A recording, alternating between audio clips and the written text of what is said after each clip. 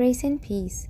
A new heart also will I give you, and a new spirit will I put within you. And I'll take away the stony heart out of your flesh, and I'll give you a heart of flesh. Ezekiel 36 26. The truths of the Word of God are not mere sentiments, but the utterances of the Most High. Anyone who makes these truths a part of the life becomes, in every sense, a new creature.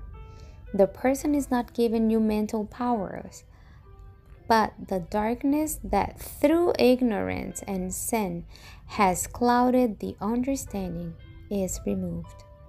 The words, A new heart will I give you, mean, A new mind will I give you.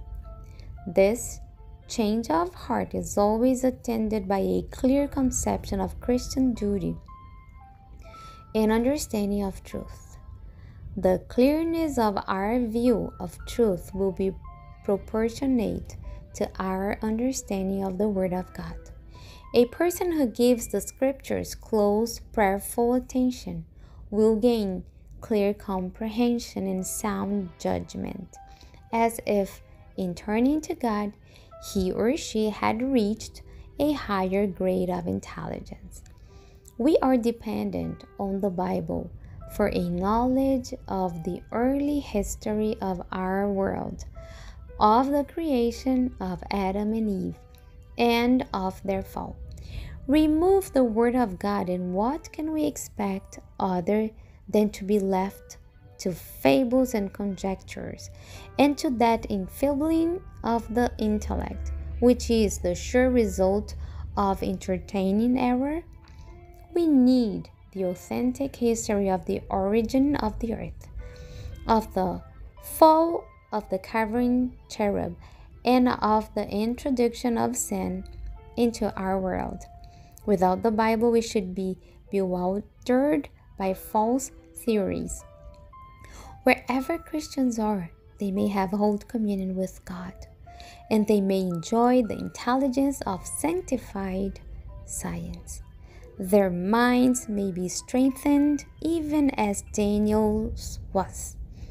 The mind in which error has once taken possession can never expand freely to truth, even after investigation. The old theories will claim recognition.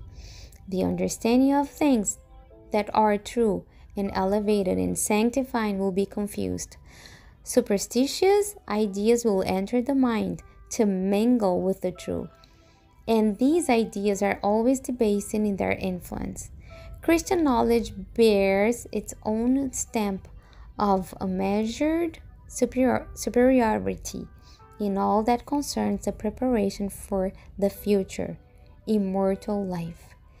It distinguishes the Bible reader and believer who has been receiving the precious treasures of truth from the skeptic and the believer in pagan philosophy. In the cities and nations of our world, there will be found among believers, unbelievers, a remnant who will appreciate the blessed word and who will receive the Savior. Christ will give men and women power to become the sons and daughters of God.